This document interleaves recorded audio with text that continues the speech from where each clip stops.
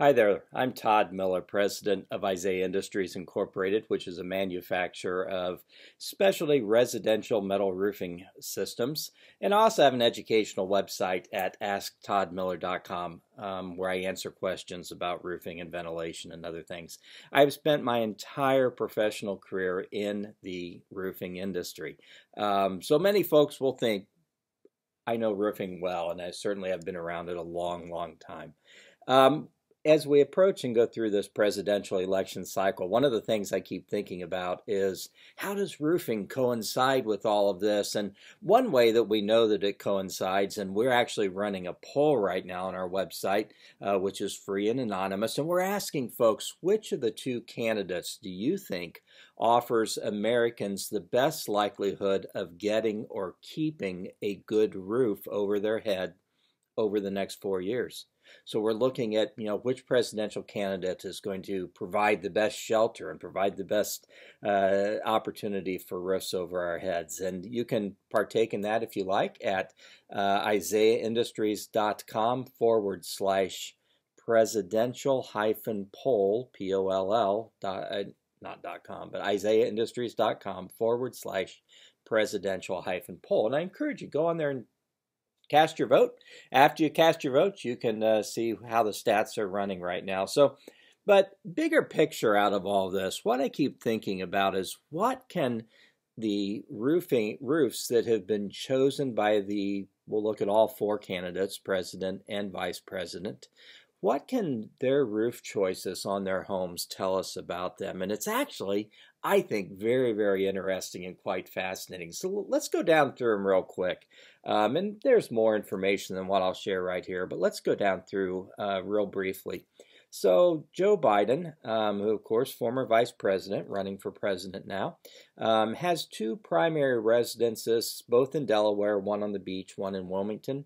Um, both of his houses, very, very nice houses. Um, but the interesting thing is, they both have asphalt shingles on them. And that fits Joe so well because he portrays himself as the common man and the common American. And 80% of all Americans have asphalt shingles on their homes. Um, sometimes after a few years, those shingles are starting to curl and crack and maybe missing a few tabs.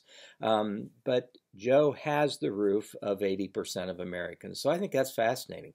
So let's look at uh, Kamala Harris. She lives in a pretty nice area of Los Angeles uh, to the west of uh, Beverly Hills um, called, I believe, Brentwood. And Brentwood is full of nice high end homes. Uh, she and her husband have a very nice home there.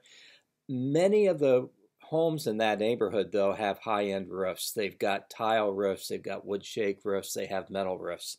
The Harris's home in that neighborhood kind of stands out because like Joe Biden's homes, it has asphalt shingles. And what that really kind of tells me is that these are very forward looking people. Um, they bought into a very upscale neighborhood, but probably bought one of the more modest homes in that neighborhood with the thought that they can upgrade and enhance and improve it over time. So I think that gives us some insight uh, to the Harrises, which I think is pretty interesting. So Donald Trump, um, interestingly, the White House does have metal on a large portion of the roof. Of course, the White House is a much larger um, sprawling compound than, than I think we normally realize or think.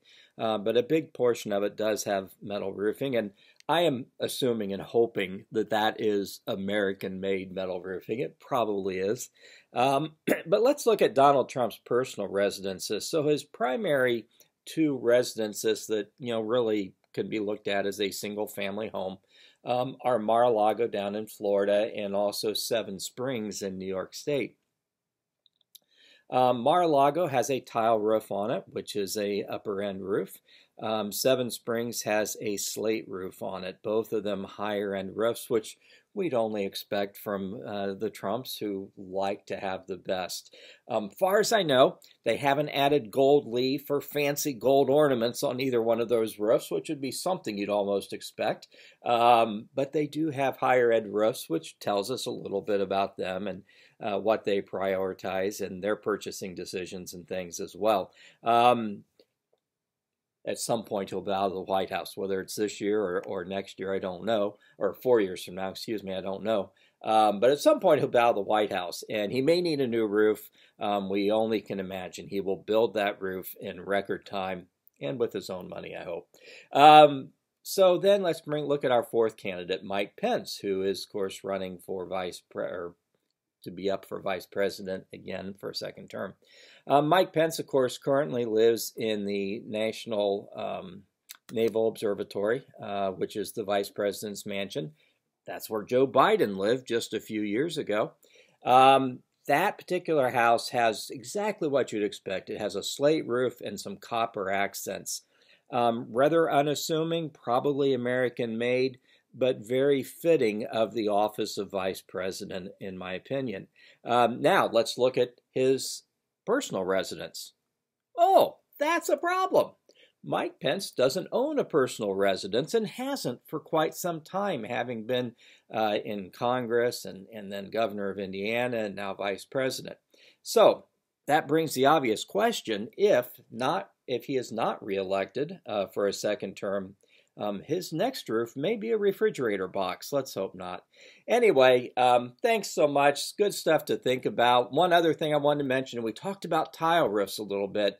And that kind of ties in here to the whole present thing because tile roofs are known to crack under pressure. So let's hope that none of these candidates cracks under pressure as we go through uh, a very rigorous election cycle. Take care. God bless. Anything I can do for you, my email is todd, T-O-D-D, at asktoddmiller.com. Thanks so much.